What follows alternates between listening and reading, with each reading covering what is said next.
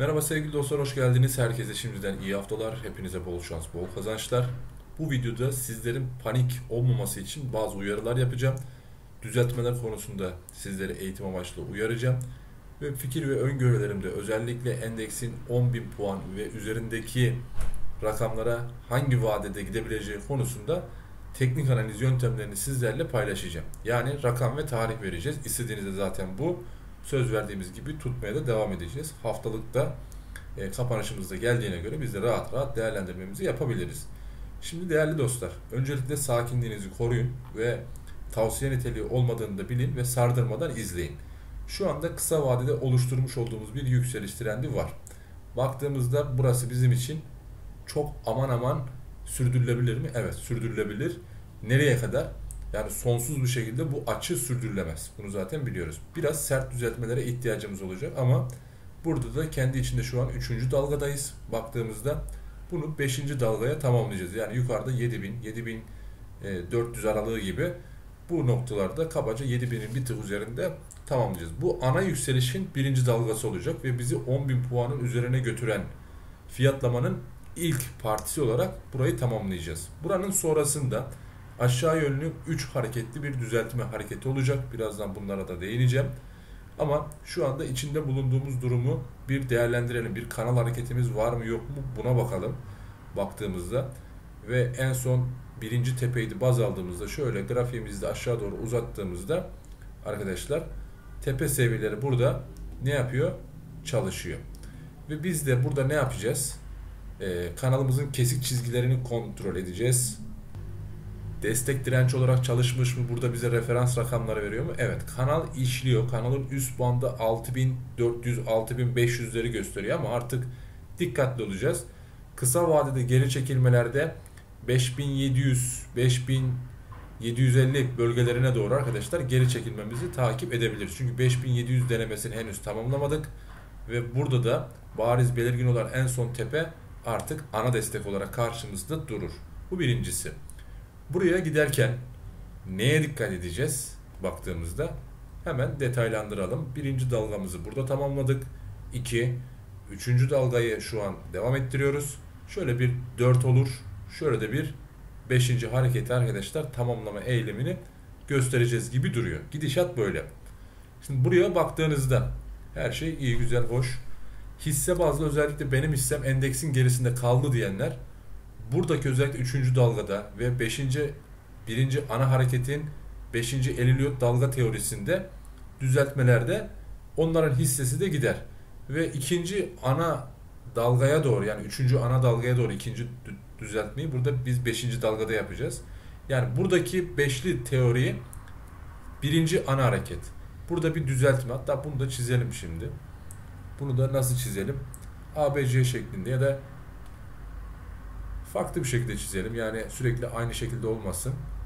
Arkadaşlar birinci hareketimizi örneğin şöyle değerlendiriyoruz. W.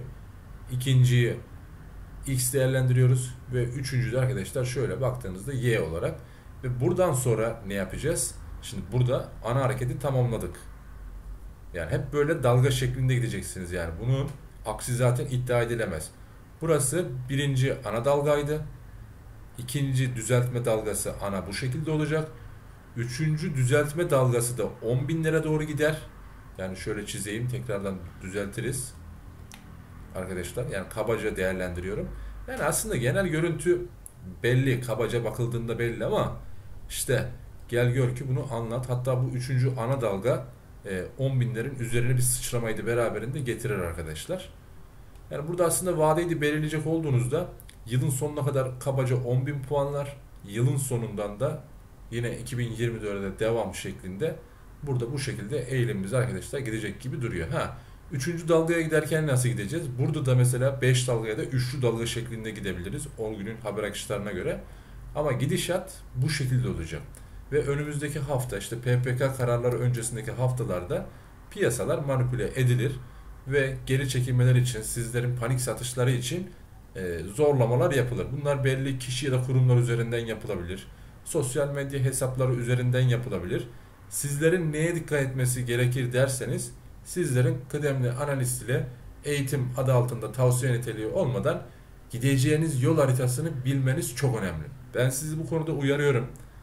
Özellikle endekse bakıldığında %10 e, civarı şu anda bir geri çekilme olabilir PPK öncesi. Yani şuradaki kırmızı birinci dalganın ikinciye düzeltmesi gibi. Yani bunlar olmak zorunda. Keşke 5700'e değse dediğimizde burada biliyoruz yani bu noktalara bir hareket oluşabileceğini bildiğimiz için böyle ifadeler kullanıyoruz. Biraz da esprili olsun diyoruz ama e, belirtelim. Yani bunları da sizlerle birlikte belirtelim. Yani ana yükselişe odaklanın ve yıl sonuna kadar e, hisse bazlı %300, %500 belki daha fazla birçok hissede e, hareketler arkadaşlar gelecek. Ve tabii haber akışlarını da takip ediyoruz. Sayın Cumhurbaşkanı Erdoğan'ın Ukrayna e, devlet başkanı ile görüşmesi oldu dün itibariyle.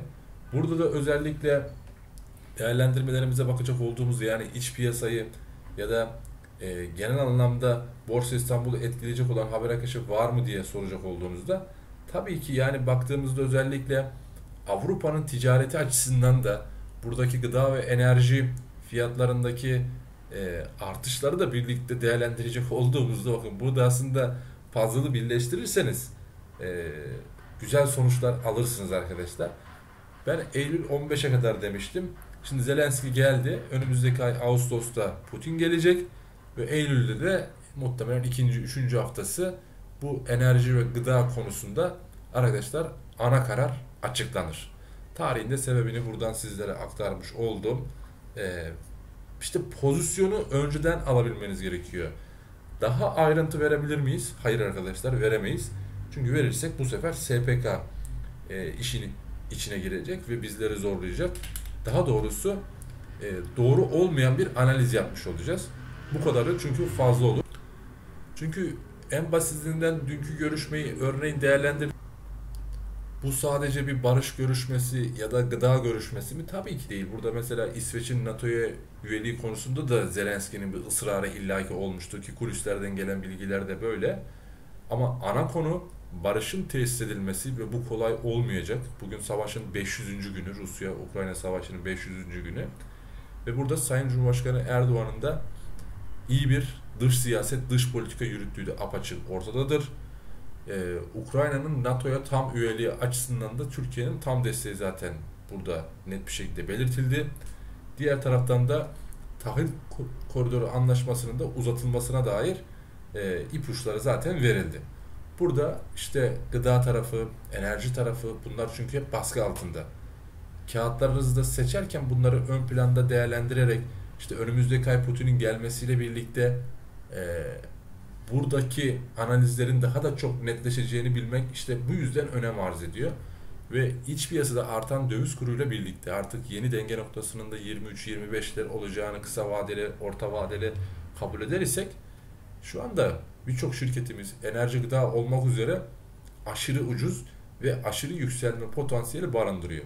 O yüzden kısa vadedeki işte böyle PPK kararları bir hafta 10 gün öncesindeki düzeltmelerde dökülmeyin. Yani bunlar olacak. Yani burada bir düzeltme teknik analiz çalışmak zorunda. Bu analizi de siz de riayet edeceksiniz. Yani burada böyle dalgalanmalar olacak. İşte kanalları takip edeceksiniz. İşte teknik çalışmıyor. Ben anlamam Elliot'tan, Molliot'tan. Ben anlamam kanaldan ondan bundan diyenler varsa ben anlamam bariz belirgin olan en son tepelerden diyen varsa abicim o zaman hiç bu tarz videoları izlemene gerek yok. Ya da Borsa İstanbul'dan bir medet ummana da gerek yok. Ya da şirketleri araştırmandan ya da para kazanma gibi bir çabanın olmasına da gerek yok. Yani biz burada ne yapıyoruz? Teknik analiziyle temel analizi işte haber akışlarını birleştirerek burada bir strateji oluşturuyoruz ve buna göre de ilerliyoruz. Bu stratejimiz de bizim mükemmel bir derecede uyum içerisinde zaten çalışıyor. Bakın sizlere tarih vererek bugünden geçtiğimiz aydan Eylül 15 diyorum mesela. Eylül'ün ikinci haftası diyorum kabaca. Ve burada enerji gıda hisseleri konusunda sizleri uyarıyorum eğitim amaçlı. Alın diye satın diye ya da e, bana bir faydası olacağı için demiyorum arkadaşlar. Bakın haber akışları geliyor gördüğünüz gibi işte. Zelenski sürpriz bir şekilde geldi. Önümüzdeki ay e, Putin'in geleceği bekleniliyor ki gelecek ki Türkiye'ye gelecek yani. Bu da çok önemli bir mevzu. Ve burada bir anlaşmaya varılacak ki Zelenski'nin e, konuşmasından da zaten anlıyoruz. Putin'in de bu işe sıcak baktığını biliyoruz. Yani e, fazlası Söylenebilir mi? Evet söylenebilir tabii ki.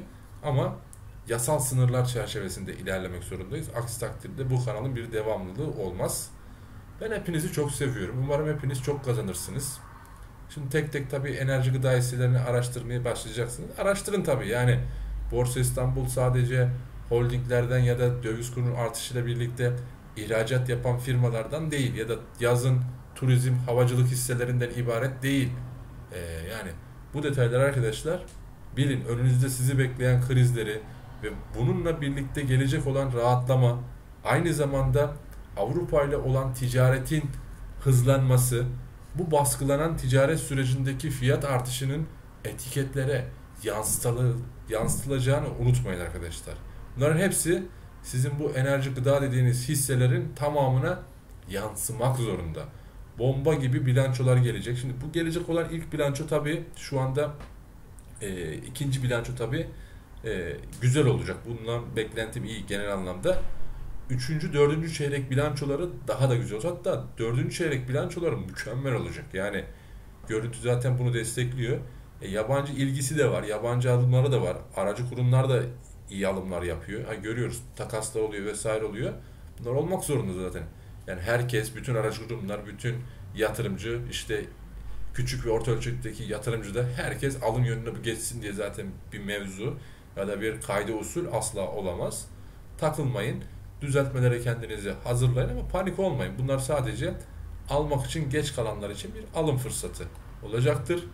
Ee, böyle dalgalarımız tamamlandıkça, düzeltmelerimiz, haber akışlarımız oldukça ana görüntüye doğru zaten gideceğiz. Ha, bir ay sonra 10 bini be- beklemiyoruz zaten ama işte yıl sonuna kadar 5750, 5250'ler gelmez diyenler işte bizim analizlerimizle bu şekilde yola devam etmek zorundalar.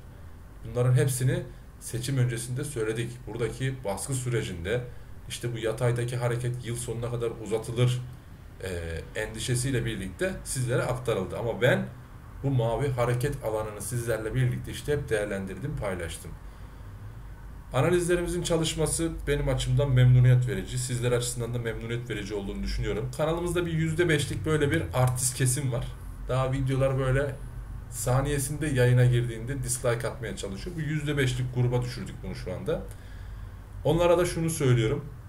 Daha videoyu izlemeden abone olup herkesten önce videoya girip bu şekilde ne için hareket yapıyorsunuz ya da neyin derdindesiniz, neyin peşindesiniz az çok zaten bunu da toplum, insanlarımız, kitlemiz zaten biliyor.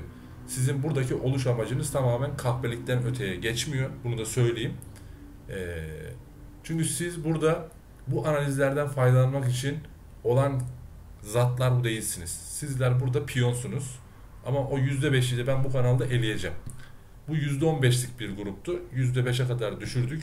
Belki biraz argo kullanmış olabiliriz. Hiç problem değil. Ama emeğe saygı denen bir mevzu var arkadaşlar.